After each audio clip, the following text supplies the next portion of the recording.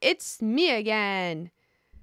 And today is March 31st, 2022. As I talked about earlier in the month, and I predicted all I was expecting this month by the end is a letter from Meta uh, talking about the process. And I was hoping that they would give at least something about the uh, investor presentation. But the letter that was released by Meta this morning, I'll display it for you here or here. I'll find a place to display it for you. Uh, they do talk about the management team, finally, uh, which is under the guise of Hudspeth operating, according to their LinkedIn. If you go to like Kyle Bradford's LinkedIn, it said Hudspeth operating. And as confirmed before, this is NextBridge because these people also line up with NextBridge. Uh, I'm here today to answer some questions because there's a lot of FUD now, and, and people panic when they see this stuff. Remember your training. We've we've gone over this quite a bit. My my anticipation and hopes for the dividend remain as high as ever. I'm very excited, and it's extremely difficult for me to hold a lot of stuff in you know, but it, it certainly makes me a lot more calm in this. And remember your training because I anticipated people freak out anyways when this PR would drop, uh, saying that yes, the dividend is not coming anytime soon. Again, as I said before, and I've been saying for the past month now, uh, try to look to Q3, maybe early Q4 for the actual dividend payout. So there's an order of operations that has to be followed. There's a procedure to things. Uh, like math, there's a specific order of operations you have to do to do this really complex equation. Let's break it down into the order of operations. And we'll start pulling at that string. Uh, I've been, my work has been so hectic lately. So that's pretty wild. Um, and it's been a huge, steep learning curve for this particular uh, type of project to manage. But I'm learning it. I'm, you know, as days go on and I'm exposed and I've been trying to figure this out, kind of like doing DD and, you know, how you start with a lot of stuff. You're just kind of running around, asking questions, going who's who. Um, I've learned that some people start searching with Google first I tend to go if I have access to people with more experience, I'll actually go to them first before I start searching Google.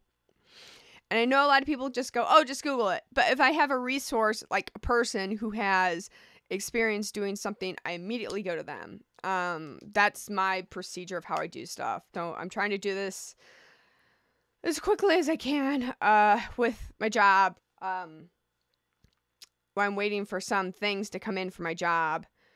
Okay, there is a procedure. This is how the procedure will go. Remember your training, okay? We're at one. They, they tell us it's going to take more time. We already knew that. We already knew that. Like I said, go to Q3 or Q4 for the actual dividend payout. But there will be a few things that'll happen beforehand. Maybe you should remember. Don't forget your training. Use this as a guide. Here's here's the tools. Uh, number one, okay, number one, there has to be an audit. And the audit basically looks at the Meta's books and says, okay, yeah, we're taking this and we're going to spend this into the assets. It's basically just like them checking things off of a list, them going through the books, how this will affect, you know, future forms, what will be the outcome. There's their own procedure to follow. Once the audit is complete, they take that paperwork to the SEC and they look at it and go, okay, hopefully that won't take long. Maybe they're in that process now. I don't know. I hope they're in that process now. Number three, then we go spin out into Oilco. Okay, this is where all the assets go off of Meta's books and they go into Oilco, the spin out, which will be a private company according to the 10K that Meta filed in March, and this letter also refers to. Once the spin out Oilco happens, MMTLP goes bye bye and it'll cease to trade and it'll be locked up in Oilco. So now's your time b- between these steps if you want to acquire more MMTLPs and you're very gung ho about this dividend Or if you're like, you know what, I've had enough. I'm, I'm out, tapping out. You tap out, you can go away. That's fine. It doesn't it doesn't affect the outcome of the dividend to me, and that's why I can remain so calm. And all this, and no matter what people say, it does not affect the outcome of the dividend payment. I know what that property can be capable of. I've done the research. I know that several other companies are coming into the area because oil exploration, oil is at a time right now, it's at a price where exploration is possible.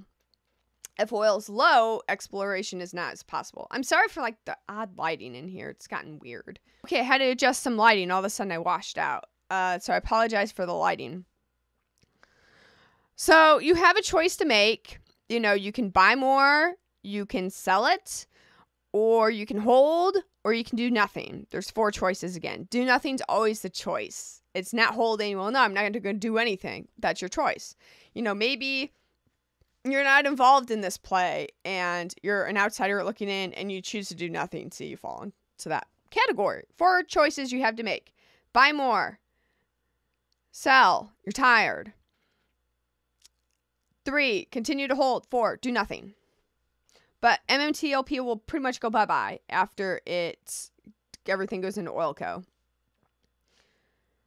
Also, it has to go into Oilco so they can begin the 2022 drilling plan that we talked about, uh, that I think they'll discuss at the investor presentation. The 2022 drilling plan satisfies all the five wells that 2022 must do to satisfy that lease contingency. Might as well do it and then maybe you can prove out the property some. Uh, but once they start proving out the property the val- book value of those assets change and that's why you have to be an oil co first that can't be on meta's books you can't all of a sudden go from like you know starting the, once that drilling happens that book value of that asset goes whoop it's at zero now but it'll go up exponentially uh so again audit, SEC says okay, the spinout happens, then everything else. MMTLP can go bye bye. 2022 drilling plan can happen. Demonstration of the property, and then we can finally have a sale. Uh, that is the order of procedures. Again, my estimate of the dividend is 29 to 46. If it is over 46, I will not complain. But to be conservative, I will say 29 to 46. And if it doesn't come out to be that way, I will apologize. But so far, I was correct in that all we would get this month is a, is a PR letter saying that we're working on it. I know it's super frustrating. And that's why we remember our training so we can deal with that. And whenever you feel frustrated and you see a lot of FUD, know this. No matter what the FUD says or people try to do or say to you otherwise, this does not affect the payment or of the dividend and the outcome of the actual sale. Those two are completely separate from any variables you are experiencing right now. And knowing this gives me like that, ah, yes. You know, I could walk away and just leave it, and that doesn't change the outcome of the dividend. But I won't walk away because a lot of people need guidance. So that's okay. Remember your training on this. There's there's an order of procedures. Whoop. There's an order of procedures and this is how it's going to happen. So you can like print this out or make your own poster and be like, okay, we, we check it off. Once the audit's finished, SEC says okay. Okay, then spin out to Oilco. The investor presentation could come anytime between steps one and four. That's when the investor presentation can come anytime really steps one through five. It could come after the shares go bye bye, or it could come before the shares go bye bye. You know, that's that's an interesting choice, uh, depending on how they do it. I'm not sure when they will do it. If they'll do the presentation before the spin out into Oilco or after the spin out into Oilco. But uh, like I said, in terms of the actual payment, not the spin out into Oilco share, which it says will be pro rata. Pro rata means you get the same value. There might be a conversion rate, but you get the same value as you had. So let's say you had XYZ percent of Torchlight shares, you know, MMTLP. you had, you know, 0.002%. Well, now you're going to get 0.002% of oil co. The the percentage wise will be the same. That's what pro rata means. Let's talk about financing. A lot of people are freaking out about the financing. As discussed, uh, there was a $15 million note which McCabe signed uh, for the benefit of metamaterials, to which there was 7% interest. We actually talked about this document. There's 7% interest on it. So Meta makes a million dollars off that. About 7% of 15 million is a million dollars. That satisfied the 2021 lease agreement to drill those four wells and pay the oil co management team, NextBridge, Hudspeth operating, however you want to call them. Uh, they're kind of like me, like roller pigeons, bird lady. It's it's basically all the same entity. Just don't call us late for dinner, right? Uh, if you looked at that 10k from March, the Meta 10k, it talked about 14 point something, you know, million dollars. And if you minused out the 15, you know, you were left with like 25 million. That's the 2022 drill plan, which includes five new wells, five new vertical wells, and then a bunch of lateral wells. And of course, they got to prove out the property a bit before buyers plunker down the money because there are interested parties. Uh, if there weren't any interested parties, we would not see any horizontal drilling. Again, the, you know, looking at the 10K, that 40 million minus the 15 million for 2021, you're left at 25. How are they going to finance it? Okay, Oilco is going to be private, right? You can finance it a number of ways. I will talk about bank notes.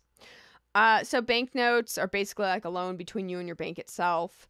Um, Phillips has quite a bit of notes. That's how they finance a lot of stuff. There also might be some convertible notes too, which you convert the notes into shares. That's another type of financing. I don't necessarily see that, or it might not be as dilutive as you think. This would be based on, though, the actual price of the dividend. So, which would be interesting. And we don't know that price until there's a sale. So, why I don't think that they're going to do really convertible notes. Uh, I think it's more going to be a bank note. And then the bank note says, pay us back when you get a sale and we'll talk about it then. Uh, is this going to affect the sale price? Not really. As I calculated before, we're yeah, expecting a 29 to $46 dividend. That's billions of dollars in a sale price. Billions of dollars. As a result, um, you know, $25 million in that scheme of things is very small. Even with a billion dollars, 25 million is very small. Keep that in mind and that's how you can pay off these notes. There's a number of creative financing tactics you can do. I've done quite a bit of creative financing myself with different scenarios.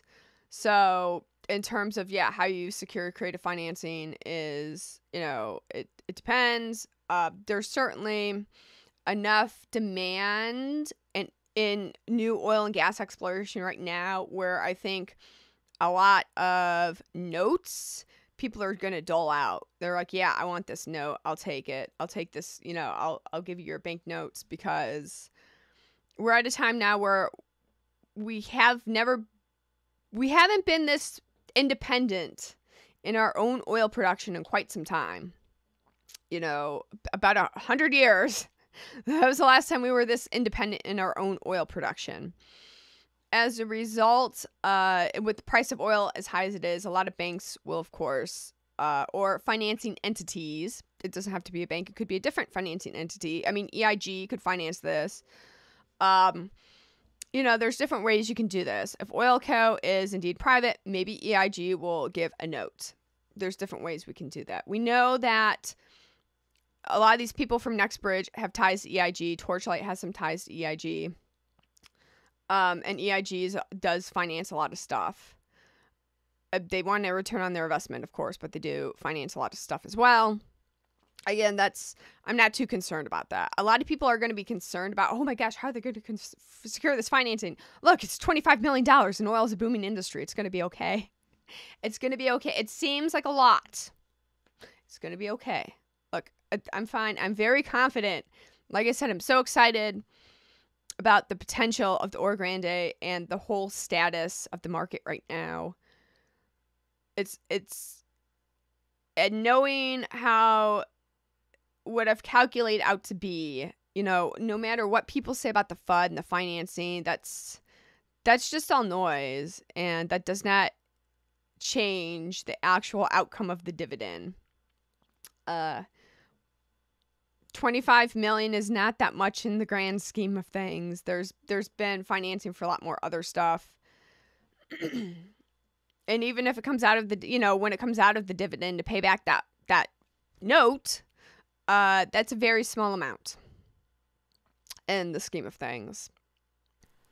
P.S. And as a side note, I do put my money where my beak is as long as MMTLP keeps trading, I'm going to take this opportunity to buy more MMTLP personally because I do genuinely see it as a way to acquire more dividend shares. I know there's a lot of FUD against MMTLP. Evidence would suggest that this is indeed genuine although frustrating for many people. I personally make lemons into lemonade, and I see this as a way to acquire more before the shares stop trading again. That's just me personally. I'm not telling anybody to do whatever they, you know, it's your money, your choice. Your money, your choice. But my personal tactic is as long as MMT is still trading and if it's at a great price, I will buy more personally because even with the delay, there's personally think that this will be an incredible ROI.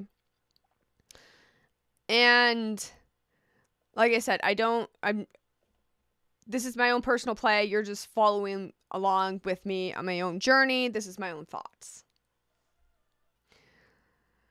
Okay, guys, I hope that answers some questions. And maybe I'll try to go live Friday night. We'll see. I will see you soon. Goodbye.